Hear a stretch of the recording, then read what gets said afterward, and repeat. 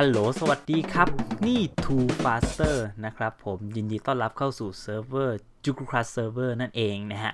วันนี้เดี๋ยวเราจะมาทำไม่ได้ทำดิเขาเรียกว่าตกแต่งเมืองนะฮะ ให้เป็นธีมคริสต์มาสนั่นเองนะฮะ ก็มีคนมาช่วยหลายคนเลยนะครับ รวมถึงมีแขกรับเชิญพิเศษด้วยนะฮะ เป็นคนนอกทีมที่ได้เข้ามาช่วยในการทำ ตกแต่งเมืองในครั้งนี้ให้เป็นธีมคริสต์มาสนะครับผมก็ขอเชิญรับชมได้เลยนะครับ สวยๆนะฮะเราใช้ Replay Mod กันเหมือนเดิมนะครับผม